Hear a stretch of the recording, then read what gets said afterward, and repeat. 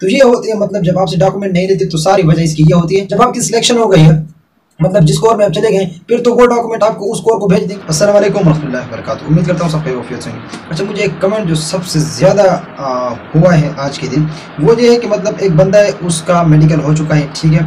आ, और मतलब अभी तक उसके डॉक्यूमेंट जमा नहीं हुए। मतलब उसका मेडिकल ऑलरेडी हर चीज़ हो चुकी है फाइनल मेडिकल हो चुका है लेकिन उससे मतलब उन्होंने क्या नहीं किया।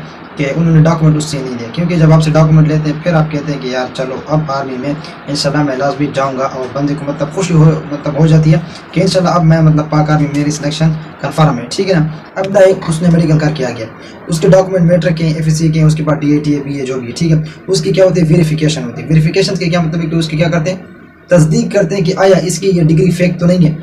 क्योंकि आप पाक आर्मी में जा रहे हैं, वो तो आपको बिल्कुल प्योर मांगेगी। ठीक है अब उन्होंने क्या करने होते कि इसकी वेरिफिकेशन करनी होती है। अब जब वेरिफिकेशन के लिए भेज देते हैं कुछ मतलब आपको खुद करने होती है कुछ वो आपको करके दे देती है ठीक है ना? चलो तो मतलब जब आपसे डॉक्यूमेंट ले लेते हैं फिर आप कहते हैं कि यार इन इंशाल्लाह पाकर भी मेरी जगह बन जाएगी। अब जब आपसे नहीं लेते उनकी क्या वजह वजह इसकी यही वो आपको कह देते हैं बाद में कि काल लेटर के बाद आपसे ले लेंगे या काल ले, काल लेटर के साथ आपको हम कह देंगे कि आप अपने डॉक्यूमेंट हमारे साथ जमा करें। उसकी वजह सर ये है कि मतलब पाक आर्मी वालों ने आपका मेडिकल करके आपको इसलिए फ़िलहाल रेस्ट पे या रिज़र्व में कर दिया ताकि आपकी जो वैकेंसी है, वो जैसी लगनी शुरू हो जाती। फॉर एग्जांपल हम ले लेते हैं। सिग्नल वाले, मेरे ख्याल से, मेरे ख्याल से मतलब जो मतलब बातें मिलती है अल्लाह पाक करे कि ये सच हो जाए, कि नवंबर में शायद ये मतलब ये बेच चला जाए सिग्नल वाले। अब, जिन बंदों ने सिग्नल में अप्लाई किया, उनका मेडिकल हो चुका है, ठीक है, लेकिन अभी तक उनसे डॉक्यूमेंट नहीं लिए। इसके क्या वजह उनको यही कहा गया होगा कि आपको मतलब हम का लेटर के साथ आपसे हम डॉक्यूमेंट ले लेंगे। इसकी ये वजह है कि सर एक दो महीने पहले वो आपसे डॉक्यूमेंट कभी भी नहीं लेते। वजह इसकी ये होती है कि उन बेचारों के पास इतना स्टॉक होता है ऑलरेडी मतलब सारों के डॉक्यूमेंट होते हैं और वो भी ओरिजिनल डॉक्यूमेंट ओरिजिनल डॉक्यूमेंट को फिर सिक्योर करना उनको संभालना उनको मतलब आ, रखना ठीक है। फिर इसके लिए मतलब आपको काफ़ी सेक्रेसी चाहिए।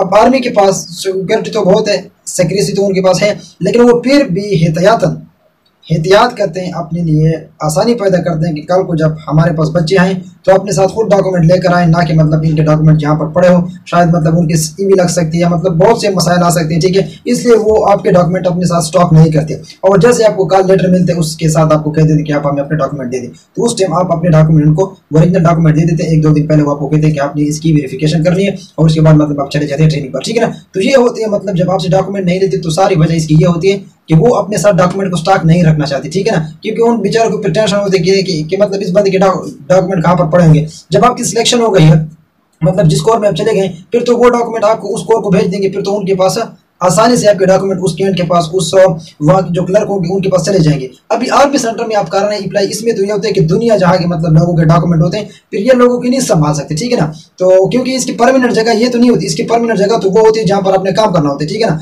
या मतलब मेन जीएचक्यू में हो सकती है, ठीक है ना?